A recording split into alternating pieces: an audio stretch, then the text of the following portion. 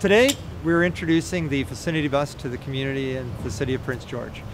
What it is, this is a new vehicle, new innovative vehicle that's smaller than the traditional 40 foot bus. It's 27 and a half feet long. And really, what are we testing?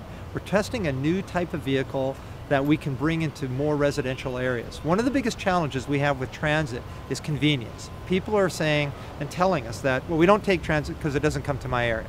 Well, what we want to do is we want to bring in a vehicle that is acceptable and that fits within the community and the neighborhoods. So that's what we've done. We've gone out and we've searched pretty far and wide for a vehicle that uh, is smaller, more narrow, and is accepting to the customer, but still has all the characteristics that you would traditionally see on a 40 foot bus. So it's got the traditional seats, it's got the door, it's also got the ability to lower the bus, it's got the ramp, it's got that versatility and the flexibility that you see within a 40 foot bus. The Vicinity bus is half the price of a tr uh, uh, traditional 40 foot bus.